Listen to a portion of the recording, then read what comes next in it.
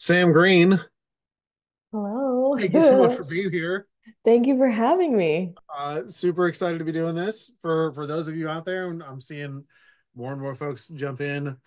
Thanks for joining. Uh, this is now the second Basepath webinar, and I'll be honest, and I can say this because Greg is a friend, by far the best guest that we've had, Sam Green joining us today. Aw. Um, similar to last time, folks, like we can't see or hear you. Um, please drop Q&A into the, there should be a little Q&A box in there for you if you have questions for, for Sam. Um, we're going to kind of jump into just a, a couple of, you know, canned questions, things that we want to talk to Sam about while we, while we get going here, but we're going to probably take, you know, 15, 20 minutes of, of just kind of conversation and then opening it up to the, to the broader group. Um, again, similar to last time, if you have any questions or thoughts or ways to improve this thing for us, like let us know. We're we're all ears. I'm going to try to continue to make these things as meaningful and exciting for for the audience as we can. But uh, Sam, thank you. Great to see you. Thank you. How are you? see you. I'm good. How are you? Uh, yeah, excellent. Really appreciate you taking the time with us. One of my absolute favorite people within the space. Um, for those of you that don't know, uh, I'll just brag on Sam for a, a moment, but you know, I think we have a lot of folks, you know, out there listening in large part. I don't think that's because they want to hear me talk. They want to hear hear Sam. Um, Sam is one of the the leaders within the industry when it comes to to content creation, student athlete marketing, uh, really just kind of NIL marketing more generally. Uh, she's done great work with student athletes, brands, collectives, universities, um, and we're super excited to be talking to her. For those of you that don't know, also has a master's in media psychology. Sam wrote, I believe, the first ever NIL study. True? False? Very true. Yes. True. Um, and has honestly just been one of the the great kind of folks that if you're not, you know, following her on social or or keeping up with, you know, the the things that Sam's doing within the industry, I highly recommend it. You know, she's constantly on the cutting edge and, and bringing a ton of value to her audiences and to the stakeholders that she's working with. So, Sam, thank you again. No, thank you. Appreciate it. That was a good intro. Thanks for Yeah. gassing, gassing me up. We'll take it. We'll take it. Um, if you don't mind, would love to just kind of get started with, can you tell us a little bit about how you got into this space? And, you know, you've obviously come a, a very long way within it and have a, you know, a really meaningful, I think, foothold as being the the leader on the content and marketing side. But where did this all begin? How'd you Yeah, end up here? Well, I danced in college and I danced in the NBA, and I just look back and I'm like, dang, like if NIL would have been a thing. Like I actually used to make content back when I was a dancer, but I didn't Sure. know really what I was doing, and I got burnt out and deleted the NBA Instagram account that I had, which had a ton of Oh, following, and look back and it's like one of my biggest regrets, you know. And so I just like always saw kind of like this need and this gap for athletes because I wish I would have taken advantage of it. And so after college, I became a video editor at ESPN, and there I just saw even more of a gap. I'm like, man, this content creation process should not be this difficult. I would go in, work on expensive software on an eight hour shift to produce like a two minute highlight video for SportsCenter. And I'm like, it, it cannot be this hard. So I left, learned how to do it all from my phone, and started teaching professional athletes how to create content for brands and how to build their own brand so that they could take advantage of the fan base that they have in front of them uh, I did a ton of things in between. I mean, you name it in sports and media industry, and I've truly, honestly done it. But then NIL was legalized. I spent a year and a half at a marketplace, really launching an educational platform of doing really what I'm doing, traveling to university to university, um, working with a lot of collectives, just teaching these athletes, you know, how to make content that brands want to pay for. And then, you know, simultaneously, once they learn how to make good content one time, even if it's just for a brand, now they know how to make content in general and build their own brand. So um, I've just guess I've always had a passion for all of these different things like media and editing. I did a lot of like on camera work. So I really like like the side of promoting yourself as well. You know, I sure. always had a background in sports. And so like I joke around that like NIL was like a dream come true or, you know, like a dream industry that felt like it was like literally built for me because all of these passions right. that I've been really accumulating over over a decade, you know, came together in one industry overnight. So love it. As far as kind of the athlete side of this, you know, we have a, a ton of folks, whether it's universities, collectives, the brands, you know, the athlete to me seems like the the most pliable and the one that it seems like you're spending more of your you know time focused on correct me if i'm wrong but you know like helping them to understand the importance of creating a brand like expanding their voice having a presence like what are some of the things that you're doing to help these athletes kind of you know step into this world because a lot of them they've got the 50 followers you know that they're mm-hmm. bringing with them from you know high school you know and, and trying to step onto a much bigger stage like what are some of the things that they can do to you know really kind of position themselves for success within this world? Well the main thing that i really talk to all my athletes about is like step number one like really what's the goal out of this? Because a lot of these athletes like jump in and just start posting and then they get really lost and feel overwhelmed because they don't have direction. Every day with their sport they wake up they know what they're doing they know what they have to work out that day they know what they have to work on like mechanically on or off the field right? So they have like a game plan. And I notice a lot of athletes love game plans and strategy and kind of um, some structure, but they just don't know where to start. And honestly, they truly just lack a lot of confidence in getting started and putting themselves out there. So, step number one, really, before I even teach them how to create content, it's like, let's align on like, what is it? And I'll give you guys like a, a literal example. I had an athlete who said, you know, because I'm like, do you just want to go viral? Great. That's one strategy and one approach that we can build out of just chasing the algorithm, chasing views. Do you want to build a business out of it? Great. That's a completely different strategy. So just trying to align sure. step one on that. But for an example, I had an athlete tell me that she wanted to become a motivational speaker.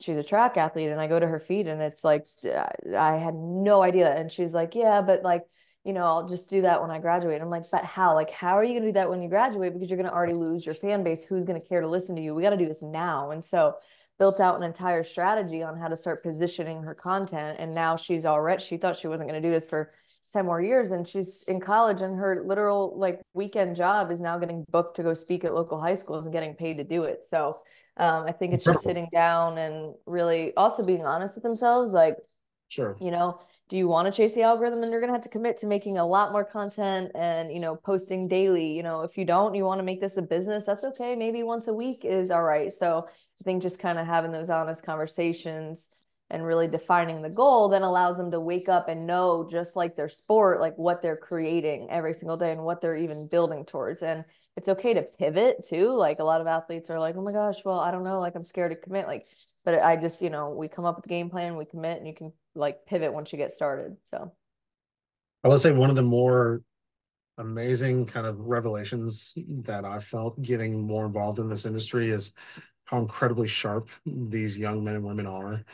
Um, I don't know, maybe it's because I remember how silly I was when I was 18, 19, mm-hmm. 20, 21. Like the maturity level and like the thoughtfulness of of a lot of these young athletes are off the charts from my own you know expectations and certainly my own experiences i've come to find that a lot of the athletes that we talk to actually have a sense of what their brand is or at the very least how they resonate with certain other brands like as you're getting into these processes with these athletes like how do you help them you know if it's not fully structured to at least kind of you know hone in hey what are you like what do you represent? What do you want to represent? And how do you get engaged with you know maybe whether it's some of the brands of the organizations that are out there or even just kind of representing themselves more broadly to get that kind of engagement from those potential business opportunities moving forward? Ask me one more time thomas how do how do you help kind of bring structure for the brand mm. for the athletes and i know a lot of these athletes have a sense of you know there are certain brands that represent what i believe in how do i best engage with them mm. oh man there's a lot of strategy but i mean more than anything again it's like it's just like the dedication and it's a numbers game like if you're reaching out to brands you had to be consistent a lot of athletes just say you know oh well this brand didn't hit me back up and it's like but, but like a lot of brands are sitting there waiting for you to follow up like a business. So really everything that I teach these athletes to do is like structure their mindset of like you are a brand, you are a business and everything just kind of like trickles out from that. So there's a ton of strategy on you know creating a one pager that shows kind of like all your analytics or an overview of what your content looks like like there's all these little pieces that are great but at the end of the day it's really just having the confidence to pitch yourself like a business not just a you know, hey, what's up? Can I land this brand deal? Right. Like we got to put in some effort and we got to have the confidence to do it and potentially even follow up time and time again. So, um, how can, how can like universities, I know a lot of, we get a ton of questions from like the NIL directors and the schools out there that are trying to,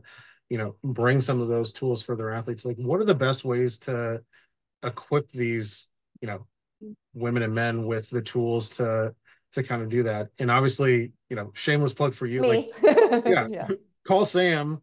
Yeah. But, you know, what are some of the things that you're seeing that are working well across different campuses today? Um, it's unfortunate, but it's like the more that you guys educate yourselves, the more you can educate your athletes. Uh, you always use uh, Cincinnati's actually director of NIL as an example. He's constantly joining like any free webinar that I have or that I post. He's constantly even asking me questions. He's learning. He's taking like NIL certificate programs. Like even though it's like at the end of the day sure. more work than you're already doing. I mean, you guys, mm-hmm. anyone that's working in sports at the university or collective level is already working more than nine to five. So I understand that it can be a lot or a learning curve for you guys to put yourself in that educational role even further. But it doesn't take much. It's even you guys consuming content kind of like understanding what's going on in this world, you guys following other athletes that are succeeding in this space, even if they're not at your university level. So I think just any little tips or tricks or tidbits, you'd be surprised how far it goes with these athletes. I mean, you don't have to be the most knowledgeable person in the world, but um, especially for the older generation, right? If you guys are older dealing with younger athletes like if the more you're able to like relate or know or just like dive into the space the more helpful it's going to be because you're able to relate to them and their world and what's going on even though you guys yourself aren't in their shoes as you know an athlete right now trying to land brand deals if you at least know what's going on um, then the athletes at least can even ask you the right questions right like they don't even know what questions to be asking if you guys aren't even up to speed with what's going on so um, even if you guys don't know the answer, right? Then it's like you guys right. finding the resources, you guys finding people like myself to come in and to assist your athletes. And I've noticed you guys would be so surprised how many connections in this NIL space are willing to like just jump on a call with your athletes or like just like jump in and help out because everyone at the end of the day hopefully in my mind is for the athletes and really trying to you know help right. them and help this landscape. And this landscape is so new that there's a lot of free resources out there still because you know no one's really fully cracked the code yet. So i think uh, unfortunately it's more work on you guys to educate your athletes. Well and kind of along those same lines i know that you know we work with a ton of collectives. There's a lot of collectives that are starting to obviously leverage the voice of the athletes to promote their own brands to bring more awareness to whether it's for you know events that are coming up or we want to continue to push our memberships or you know be engaged with the brand. Like i know you've done a lot of great work in helping these organizations to you know the paid promo side like getting really meaningful return on on those investment dollars which a lot of these collectives are you know, they've got contracts with their athletes already to do stuff mm-hmm. you know and whether that stuff is social media posts or showing up for appearances or signing autographs or whatever it may be you know there's a lot of inventory out there for these collectives to to leverage tell us like some of the best ways that that these folks can get the biggest bang for their buck mm-hmm. from these athletes to you know hey if we're already going to have these you know folks doing stuff how do we mm-hmm. have them do stuff in a way that is most positively impacting the greater you know mm-hmm. organization and good well, one of the biggest, you know, controversies basically in the space is, you know, our athletes producing content that receives an ROI. One for the collectives, you know, like are you guys actually getting more membership signups, more, you know, donations because of the content that you guys are already probably paying your athletes monthly to create? Maybe not. You know, same thing with brands, like these brands, uh, you know, dropping thousands of dollars and not even tracking, you know, analytics or seeing what's working or not So maybe you guys aren't seeing the ROI on it. And where I really notice extreme success is if you're not going to bring me in and teach your athletes how to create the content that receives ROI, then um, running actually like, and I don't know why more people aren't doing this, but whitelisting campaigns on social media. Yeah, Um, that was what I wanted you to hit on because this is, I think, has been a game changer. Yeah, sorry, So, didn't mean no, you're good. So whitelisting campaigns, if you guys don't know, uh, essentially, um, whether you're a collective, whether you're a university, an athlete, or even a brand, you can run a paid advertisement on social media where it looks like it's coming from the student athlete's feed when it's being pushed out into the algorithm. It has their name. You are still tapping into their fan base, but it doesn't have to go on that person's actual feed. And so what I like about whitelisting campaign is these athletes are so picky about their feed and the content that they're putting on there. And so if you're a brand and you hand them a brief, right, or even a script that you'd like for them to say, and they're probably going to say no because they feel like it's cheesy or not as organic or whatever, but that Or they're going to delete it three days after they post yeah, it. and screw you guys, right? When you paid Right. three thousand dollars to be on their feed. And so um you know, but that that brief, that script may be what you guys know receives the return on your investment. So how to how do we leverage this, especially like you know, we don't then want to go for an athlete that has a tiny following because they're the only ones willing to post it, right? So we still want these bigger athletes. Well, whitelisting campaign is kind of like that solution because you're tapping into their fan base. They're willing to read whatever you want, create whatever content you guys want. You guys Right. can help shape it or curate it more. And you know, you're seeing more of a return. Yeah. I will tell you, anyone on this call who's working for a collective, please call Sam. Um, Mhm. on that piece alone, we've seen huge success, both in terms of athlete engagement, just like it's an easier proposition for them. Again, they're still going to create the content, but now it's almost as if you own the asset and can Yes. replicate it and use it as many different times as you need for you know wherever you want it to play. And it's Mhm. it's gotten you know great engagement. We are seeing ROI on it. It's it's been an exciting one to to see. Um the most exciting topic for for me athlete con Yes. if you haven't seen it check it out this to me is probably the the coolest event that I've seen come into the space, and there's been a lot of really great ones that have kind of popped up over these past two three years. But um, can you tell us a little bit about AthleteCon and you know where did this come from? How did this you know become a, a passion project for you? And I mean, I already know, but just for the the edification of the group, like who's going to be there? What's this? You know, what's really going to be going on in, in this you know couple of days like i i can't you know express how excited we are to be a part of it and you know being engaged with you and, and helping to support these athletes but can you give us a little bit about athletecon Yeah, absolutely. So, like I said, I've really been in the NIL since the very start. So, I've been truly at every single event that there has been. Um, I don't want to like call any out directly and say, oh, they're not good enough or great. There are. There's a ton of great, you know, resources. There's a ton of great events within the industry. But I started actually like going up to people at these events and like throwing out what I felt like was missing. And a lot of people, you know, are like stuck in their ways or whatever, you know, don't want to expand it. And so I truly saw a gap in like events that are actually like educational and helpful for these athletes and are actually bringing NIL into real life. Like I feel like every event out there, even though this is a great style as well, it's just a lot of panels just talking at people and just talking at athletes and like I've had so much feedback from my athletes calling me like, I mean, it was cool, but it was like honestly just like cool for the picture and to meet an athlete. I didn't really walk away with anything tangible. And so kept going around all these people and like no one was doing anything about it. And so I literally was like, okay, like then I gotta solve the problem myself. So Yeah. June June 1st here in Charlotte, I rented out a massive industrial building. I'm running an event thanks to you guys um, are going to be a part of it too, but called Athlete Con. And it's really to celebrate these athletes and educate them more on really the content creation side too, because 70% of these NIL deals are based around brands paying athletes to make content and no one's highlighting or focusing on that. So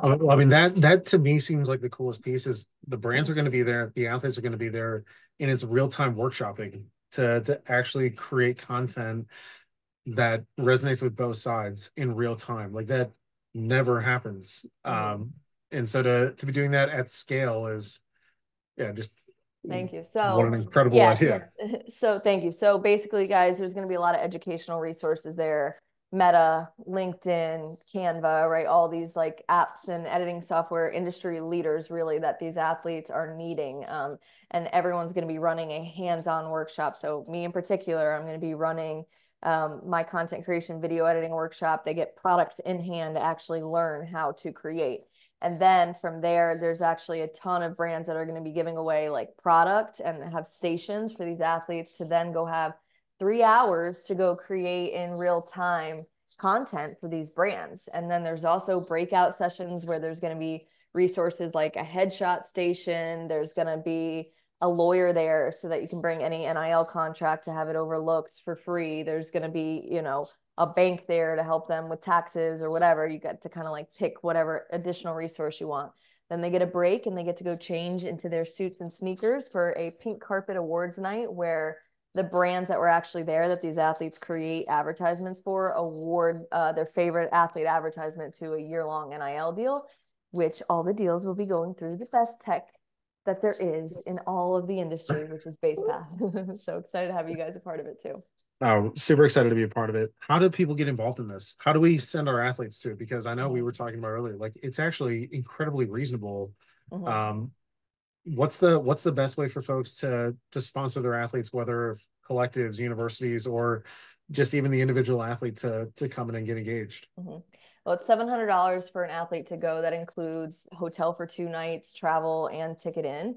Um, so i really wanted to make it accessible and affordable. I want all athletes to be able to go. I don't want it this to be like this uh, such hard event to go to right? It's about the education for me. So $700 an athlete you guys to ensure I'm sponsoring the first 45 athletes in the door, but if you guys want to ensure your athlete's spot, you can cover that fee. All you have to do is uh, text me or email me. I just need a final head count of how many athletes you want to bring. I invoice you for that amount, and then I send you out a document for simple information like their email, their first and last name, their sport, their t-shirt size, just so that they can get all the free stuff. And then um, we'll send over them an agreement. And all the athlete has to do is agree to sign the agreement and they are locked in. You guys are able to attend as well. So collectives, universities, and brands will also be there. Um, tickets are up for sale on an early bird special of 199 for collectives, agents, and universities until April 1st. So if you guys want to go uh, get your ticket now.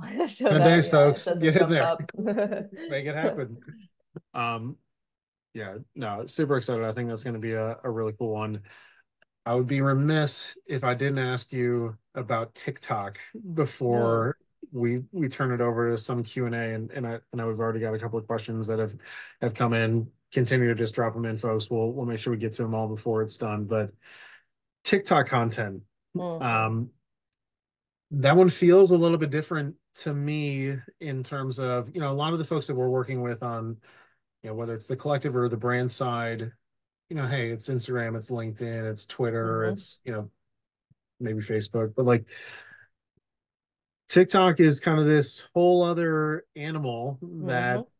seems like a lot of the the world is moving towards and maybe we might have to pull the plug on this thing yeah. in days like depending on you know what happens um at the macro level but how have how have you viewed the world of TikTok um, as it relates to student athlete content, and how are you helping you know athletes to use that platform? So athletes are so funny. Um, I'll get on a call with them. They'll say, I don't know what kind of content to produce, if I want X, Y, and Z, and I'll give them a bazillion ideas. And then I'll find out that they have a TikTok and that they didn't even tell me from the start. And I'll go find their TikTok and they're doing everything that they should be doing like content wise so the thing about TikTok is this younger generation. I mean, whether we love it or hate it, I have my personal opinions that aren't positive towards the platform itself, but that's for another time. But um, love it or hate it, this younger generation is just on it. They feel comfortable on it. They feel like the audience is like younger, and it is. Um, so I've noticed like the athlete that you would go on their Instagram and they have two posts, like are doing the you know locker room dances on TikTok and you're like I thought you were shy you know and so um I think that that platform I reserve for I don't want to say reserved for, but like Instagram to me is like their resume, like what brands like really should see. And it's more of like a portfolio versus TikTok is really culture based. It's them, it's their teammates, it's their friends. You can build a brand on there, obviously, but mainly what these kids are doing is just TikTok dances, lip syncing, and day in the lives, you know, over there, which is still great content. But um, the the positive feature right now to me with TikTok that they're really pushing too is they finally launched TikTok Shop. So for brands now it's finally important for brands in my opinion to be on TikTok because you can directly link your product where now all of these kids that have millions of followers from when they jumped on TikTok into COVID can actually push and sell your product versus that used to not be the case. So although in my opinion, it used to kind of be more of a culture platform. We're now seeing it to be, you know, at least more of value to brands as well. As far as kind of the splits in terms of like athlete brand deals that you're seeing, like, is it where does the majority of it live, or like, give me a breakdown like across platform? Mm. Um, I think that what I've seen, even especially from like a brand perspective, when they want to hire an athlete, most brands want you to like create with the audience in mind of Instagram and they will repurpose your content on TikTok. But a lot of these brands have, you know, are run by older generations essentially that don't even want to deal with the beast that TikTok is. They don't want to figure out the algorithm. So they will hire athletes to do that for them because they know these kids already know how to kind of crack the algorithm a lot more um, sure. over on TikTok. So um i'd say like even to my athletes i recommend creating specifically for instagram because it's more like repeatable that kind of content like you can post everywhere you know the content that they're willing to share publicly to everybody on their perfect you know little account in comparison to if you're creating just for tiktok you might be creating a ton of lip sync videos which is cool but uh, you're not going to throw that on X or LinkedIn, right? So yeah. I look at it as kind of like Instagram's the best starting place, but TikTok is obviously still extremely relevant and valuable.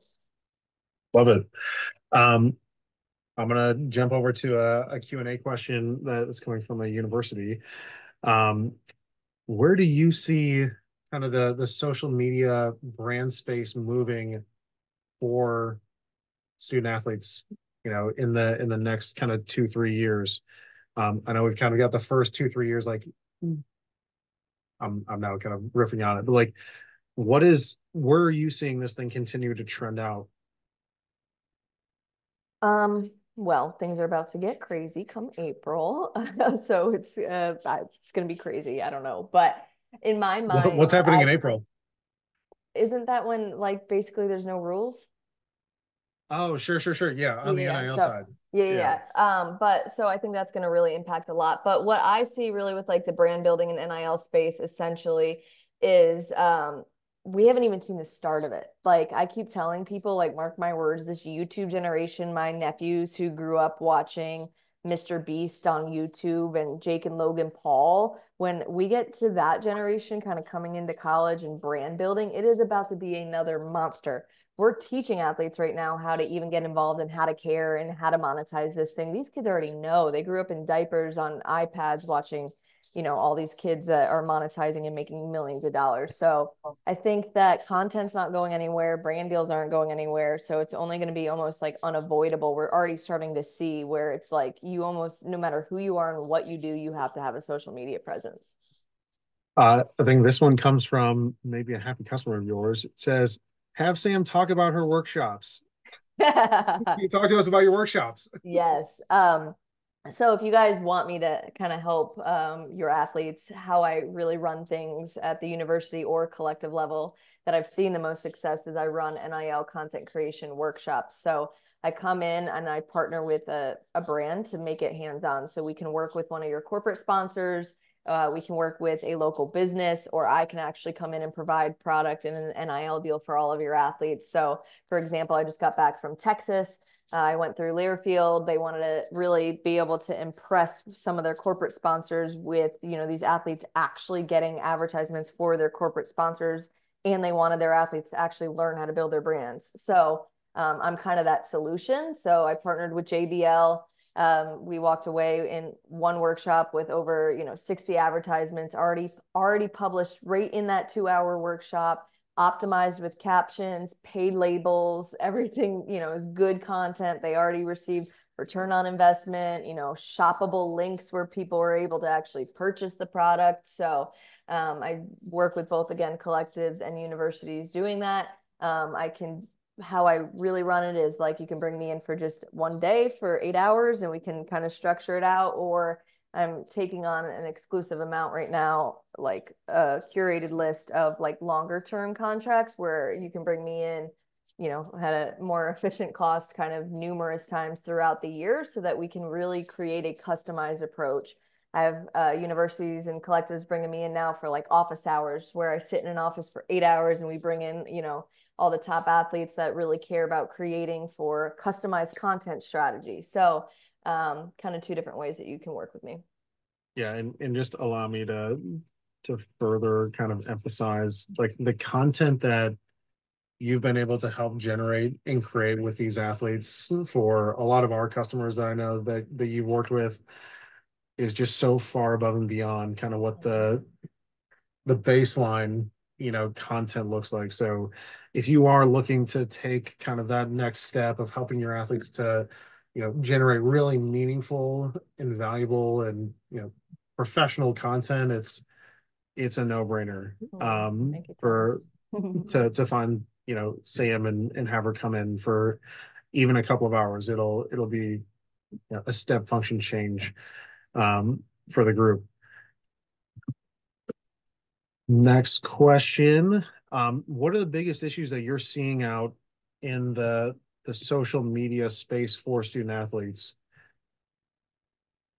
they don't know where to start. Like it really is just that. Like what I see is like they consume a lot of content and then they almost get intimidated by it. They'll see the one athlete that does know how to create a brand that is killing it, that is landing it, and they feel like they can't even take it on, especially the athlete that isn't the starting quarterback, right? Like they think NIL sure. isn't for everyone. And we all know that's not the case. We all know, you know, it may not fall into those student athletes' laps that way, but I think it's just like this fear of judgment or even like fear of commitment because they don't even know where to start. So um, maybe that's a little bit more NIL specific than social media specific, but no matter what, it's almost like more like mental healthy. Specific, it is. Honestly, it really, it's this right? comparison like, is the common theme. Yeah. yeah, it, it's tough. I mean, is as far as trying to help these young women and men like overcome those hurdles like what are some of the things that you're you're doing to to try to maybe demystify or like take some of that burden off of them well i can speak from experience to them and so that's really what i, I try and just shoot them straight you know. I told you guys i burnt out deleted my mba account. I've also i've started a million brands. I had a youtube channel interviewing professional athletes and it built up a huge following and i was able to turn it into a nonprofit and it went crazy but i realized like a lot of like the content I was creating was because I felt pressured to post what I thought people wanted versus what I actually wanted to create. So more than anything, that's why I try and from the start have them really identify what their goal is so that we can curate what they actually want out of it so that they don't burn out so that they're not comparing they feel confident in their lane they know what they're doing and they enjoy it and again like you can always pivot that but um, I think speaking from experience really helps them. And then I think just allowing them to realize like you don't have to follow the status quo. You can you can create whatever the heck you want to create. Um, really, I don't know, like prepares them to deal with it. yeah. yeah. Um, last one that I've got in the the Q and A side is, as a university, what are some of the you know easy resources for us to plug into as we're trying to, I think you mentioned, you know, your webinars and since Cincinnati, like stepping in, like, are there places where you're going to, you know, educate yourself or at least kind of build some of that baseline for um, hopefully giving that to the athletes? I mean, I would say like honestly, the easiest way for everyone to probably get the best education in like a wide range of it for free without a huge time commitment is all the newsletters that are out there in this NIL space. I mean, you could scroll XApp all day and get everybody's updates, but like it's so time consuming and very timely. Like newsletters, like everyone puts their best foot forward. if you're writing a newsletter, like you are actually taking the time to sit down, write it, do their research. So it's a really like condensed, you know, version of what's going on in the space. And I just feel like everyone from like lawyers to, you know, agencies to whatever, like have newsletters that, you know, I should definitely do a better job of listening to my own, own advice. But I know a ton of people, especially at the university and collective level, that do that and, you know, really learn a lot. Are, are there any in particular that that you're uh Um, I'd consumer of? say I'm hard because I like like content creation side, so mine aren't always like Sure. NIL specific, but I feel like is it NIL Newsstand that I love? Yeah. I mean, newsstand is super Maybe solid. it's because they write about me a lot, so maybe I'm biased, but um, I think their even their Instagram content and NIL Wire is that one too? Yeah, another good one. all like subconscious things. Yeah, I feel like those two. Yeah, like D1 Ticker is the one that I Mm, yeah, that's a staple. can't can't get You away have from. to. You have Um to. Yeah, you're I think right. I think NIL Newsstand is doing doing great work. I, I know On3 has a a newsletter, like a daily update that they do. Um yeah, there's a bunch of them out there. I think hmm SBJ has one that they do like every couple hmm of days. Um, but no, that, that's super helpful. Um, Sam, I'll I'll just kind of wrap it up with this. Like, cannot thank you enough for for taking the time. Um, if anyone else has any other questions or you know things that pop up, like feel free to shoot them our way, and, and we'll make sure to to try to get you know a couple of responses from Sam and, and get those back out to you. But we'll we'll bottle this thing up. We'll we'll send it out. Sam, can you tell us where people can find you? hmm Um, I know you've got a website, social. What what's the best way for folks to get in touch with you? Um, I always hand out my number. That's maybe Yeah, not the most professional. My phone number, I can write it in the chat. Um, Yeah, and, and we'll also add that into, you know, in the follow-up emails for for anyone. Um, but also again, Instagram. Sam B Green is my Instagram. I'm really good about answering my direct messages. Um, website, email. I mean, you guys name it. All you know, if you find me, um, I Athlete will answer. Con, AthleteCon.io is where you can sign sign up to join us June 1st in Charlotte. awesome. We'll get that out to everyone again, kind of with the the follow-up emails that are going to come. But Sam, cannot thank you enough for for taking the time. Truly, if you haven't had the chance to to work with her or follow her, leading the space for athletes in, in the content creation and marketing side and doing some of the most impressive stuff within this space. And we've seen a lot of folks that have been trying. Yeah. Sam stands above them all. So uh cannot thank you enough. Um Thank you guys. You guys get involved in here. AthleteCon, get involved with Please. Sam. Thank you all so much. Um we'll catch you next time. Thank you guys. Bye.